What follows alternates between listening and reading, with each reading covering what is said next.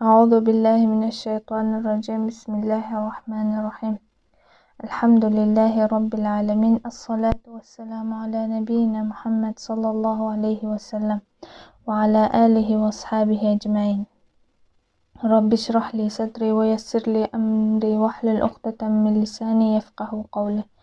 أما بعد السلام عليكم ورحمة الله وبركاته. Bugungi darsimizni boshlashdan oldin e, sizlarda kommentariyalarda ko'p savollar bo'lib o'tayotgan ekan. Dars berasizmi? Onlayn orqali dars. Albatta darslarimiz bor. Erkaklar uchun ham ayollar uchun ham darslarimiz bor har xil yo'nalish bo'yicha. Fiqhiy darslarimiz bor. Qur'on darslari tajvid darslari qur'on yodlash darslarimiz bor. Bu haqda batafsil ma'lumotlarni e, sizlarga kommentariyada yoki ekranda qayerga murojaat qilishingizlarni yozib qoldiramiz inshaalloh. Endi hozir e, bugungi darsimizni e, boshlashdan oldin o'tgan darsimizni bir eslab olsak o'tgan darsimizda biz nima oldik? Sababkor mad bilan mad muttasil oldik. Sababkor madlar bizda ikkita dedik ular nima ekan? Hamza va sukun. Qachon mad harflaridan keyin hamza yoki sukun kelsa agar u ikkalasi bitta kalimada kelsa bizda mad muttasil bo'ladi dedik endi biz bugun mad munfasilni olamiz.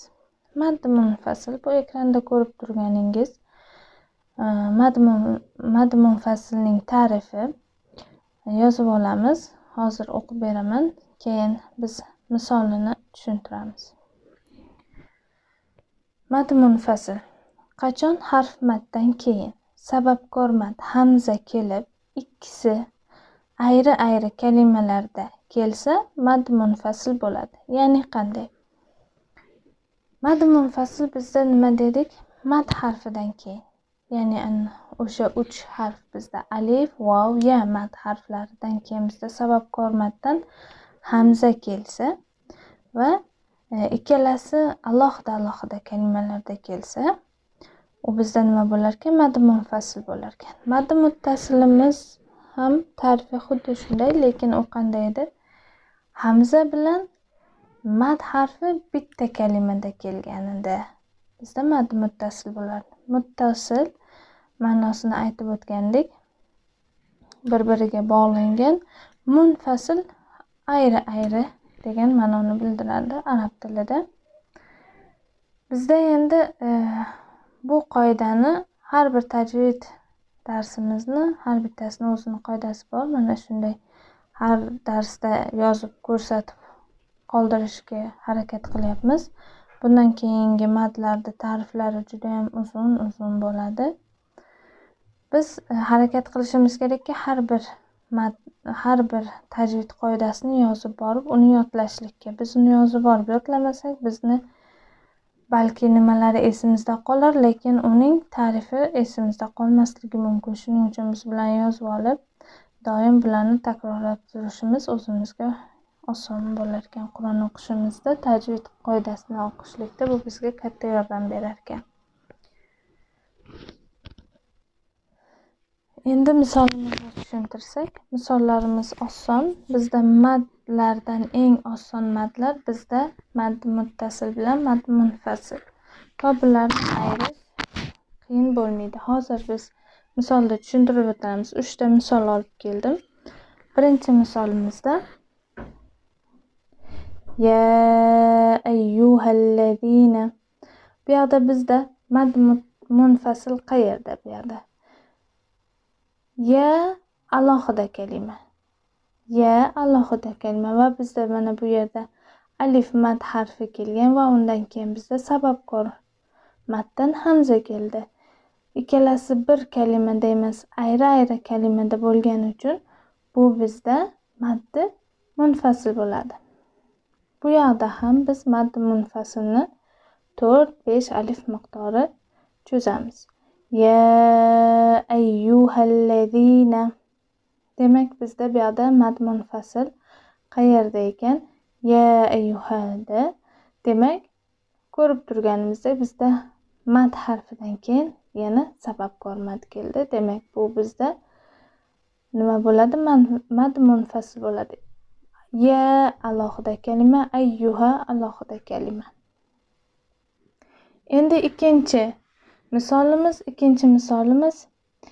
Inni axofu inni axofu bu yoqda bizda mad e, munfasil hukmi qayerda bizda ya ya harfi bizda bu yerda mad harfi bo'lib va undan keyin sababkor mad bizda hamza keldi va ikkalasi ayri ayri kalimada inni alohida kalima axofu alohida kalima va bu bizda nima qoida bo'larkan? Bu bizda mad munfasil bo'larkan. Demak bizda mad munfasil degani ayri ayri.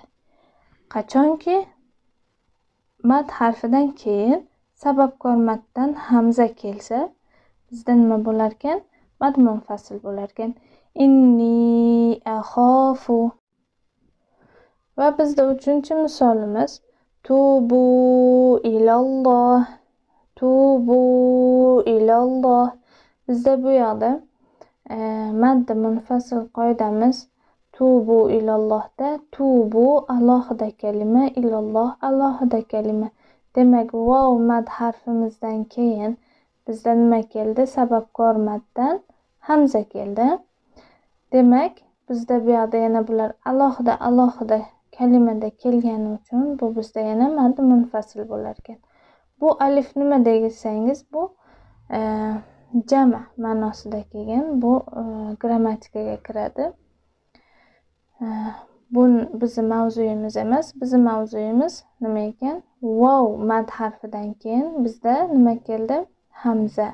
Sababkor maddan hamza keldi va ikkalasi alohida alohida ayri ayri ayri kalimalarda kelgani uchun bu yoqda bizda yana mad munfasil bo'larkan tubu ilalloh. Demak misollarni ham tushundik va qoidasini ham tushunib oldik. Endi biz bu yoqda mad munfasilning madda necha miqdorda uni aytib o'tsam. Mad munfasilning maddi joizdir.